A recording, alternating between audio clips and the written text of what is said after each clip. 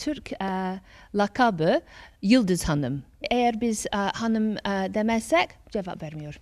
Biraz İngiliz, biraz Türk. Bir adı Star, diğeri Yıldız Hanım. Ama ismi de sevimliliği de değil onu böylesine yıldız yapan. O bir rehber köpek. Görme engelli sahibi Maggie'nin gözü gibi adeta. Scenes, come on. Behind the scenes.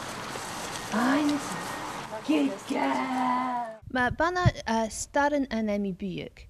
E, Bana e, bağımsızlık temsil eder.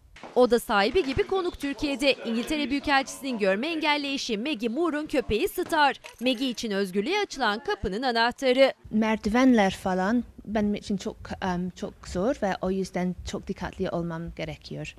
Ve bana em, star gösteriyor, Yol gösteriyor.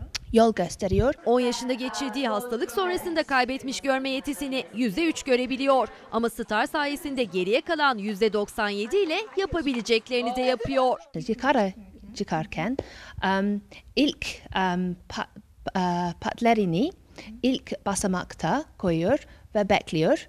Tekrar ben ayağımla e, hissediyorum. Devam et de- deyince, deyince devam ediyoruz. Çok zeki bir köpek aynı. Çok zeki kesinlikle.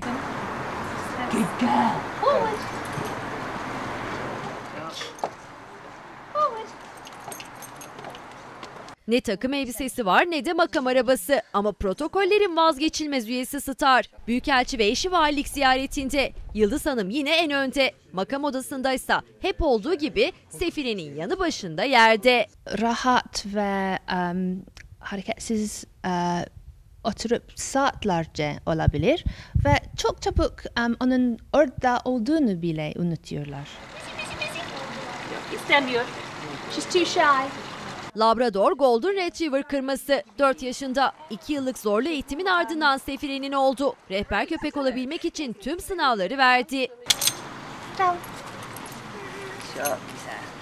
Bir kere bile eğitim boyunca em, hırlarsaydı kesinlikle bir reh- rehber köpeği olamazdı. Çok uysal, çok da zeki ama herkes aynı tepkiyi vermiyor Star'ı gördüğünde. Çünkü rehber köpekler pek tanınmıyor Türkiye'de. Rehber köpeğinize metrobüse binemedikten sonra, işte Taksim'e gidemedikten sonra, işte e, halk buna alışkın olmadığı sürece olması bir şey ifade etmiyor. Şimdi Sefire Maggie görme engelli bir arkadaşıyla birlikte dernek kurma hazırlığında. Amaçları rehber köpeklerin yolunu açmak. First experience. I know, it's great, isn't it?